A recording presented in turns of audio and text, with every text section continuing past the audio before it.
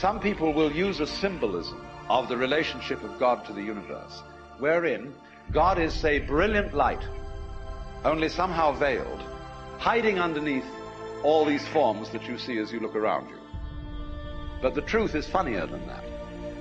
It is that you are looking right at the brilliant light now, that the experience you are having, which you call ordinary everyday consciousness, pretending you're not it, that experience is exactly the same thing as it.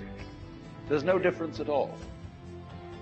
In other words, when you really start to see things, and you go into the nature of what it is to see, what vision is, or what smell is, or what touch is, you realize that that vision is the brilliant light of the cosmos. That it is actually, see, the source of all light is in the eye. If there were no eyes in this world, the sun would not be light.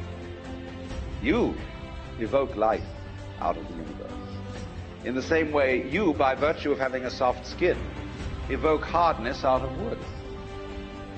Wood is only hard in relation to a soft skin. It's your eardrum that evokes noise out of the air. You, by being this organism, call into being the whole universe of light and color and hardness and heaviness and everything. So everybody says, all right, know yourself. Look within. Find out who you are.